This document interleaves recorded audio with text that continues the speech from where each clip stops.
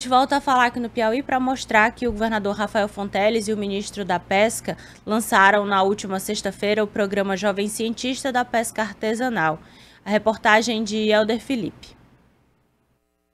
O lançamento nacional ocorreu na manhã desta sexta, no Palácio do Karnak, em Teresina, Piauí.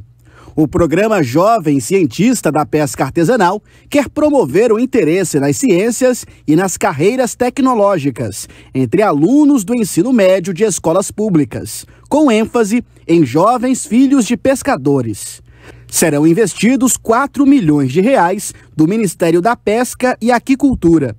A ação conta ainda com o Ministério do Desenvolvimento Social e da Ciência e Tecnologia. O tamanho desse investimento, a importância desse investimento, a gente não mensura pelos valores que estão envolvidos. Essa é uma semente que está sendo plantada no Piauí.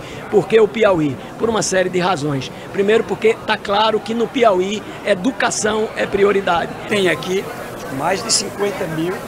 Aqui nós temos uma situação em que as novas gerações, a partir desse é, desta oportunidade, eh, com a escola do mar, com a integração com a educação, ela estará melhor preparada para garantir o uso da ciência, do conhecimento, da tecnologia e isso vai ampliar a renda. O Piauí é um dos estados com maior número de pescadores artesanais do país. Aqui serão ofertadas por até um ano bolsas de iniciação científica para estudantes da rede pública estadual.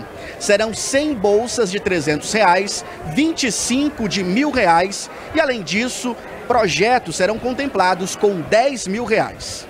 Olha, aqui nesse programa Jovem Cientista da Pesca Artesanal, o governo federal financia as bolsas dos estudantes e o governo do estado a bolsa dos professores que vão liderar esses grupos de pesquisa desses estudantes. Então é essa parceria inicial. São 100 bolsas no primeiro momento, mas a gente quer expandir ano após ano para a gente ter mais jovens, filhos e filhas de pescadores, entendendo melhor a pesca artesanal, agregando valor a essa produção e melhorando de vida. Esse é o objetivo. Mica